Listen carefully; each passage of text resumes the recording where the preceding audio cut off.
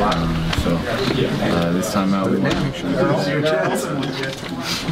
He had an, an incredible game, man. I've never seen, I don't know if I've ever seen anything like that. You guys used to seeing him get going and just going like that and hard to shut off. Yeah, I mean, uh, 46 points, career high on 19 shots. That's like, I don't even know what to say, man.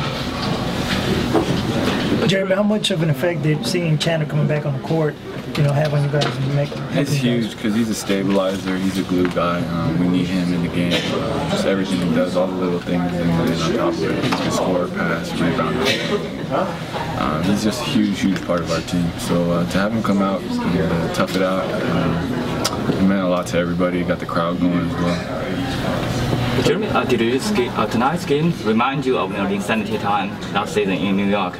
That kind of feeling of clutch shots at a crunch time? Uh, you know, I'm just uh, out there having fun, man. I'm I'm, I want to write a new chapter in my life. You know, I, I, you know, I'm thankful for Linsanity and everything that happened, but um, you know, we're moving forward now, and, and I want to be able to you know, write new new things and, and not always, uh, you know, I just want to write new pages in the book.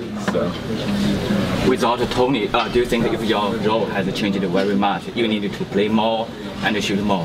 Um, yeah, I mean Toney was a huge, uh, huge asset for us. He came off the bench and, and just scored, uh, scored efficiently, scored very quickly. Um, he averaged nine points in probably, you know, I don't know how many minutes he played a game, 20 minutes or something, and, and that's something that we're gonna, you know, we're gonna have to be able to get, uh, get from.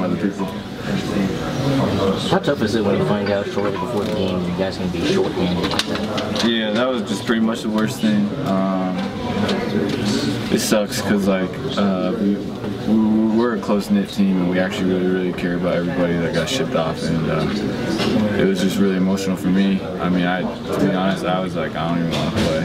Um, I don't want to play tonight. Um, yeah, it was really emotional. Um, and so I wish them the best, and uh, it just it just sucks to see them go. And I guess that's part of the business, but that's that's that's the tough part for me. So in the end, when you guys pulled off the win, came back like that, and to overcome adversity like that, how much did it mean even more to get a win? Uh, I mean, it means a lot to get a win, but to be honest, uh, it doesn't mean it's, it hurts. Like it's bittersweet. Um, tonight is definitely gonna be bittersweet, and uh, we had, uh, you know, well, we shipped off four guys, and, and uh, you know they're all a big part of our team, and, and uh, I'm gonna miss playing with them guys. So, uh, yeah, I mean, I'm happy we won, but it really just sucks to be honest. Talk about the feeling, you know, you guys are down 14, seven minutes left in the game, then you come back, you hear the crowd, you know, what's that feeling like in the game? And the crowd was amazing tonight. Um, I've never seen a crowd like that in my entire time here. Um, it made it sound like I've been here for a long time. Uh, for the year that I've been here, I've never seen the crowd show that craziness. So uh, definitely a huge shout out to them, and they were our six minutes tonight. You guys, made it your first 10 three points. Probably not the to you guys.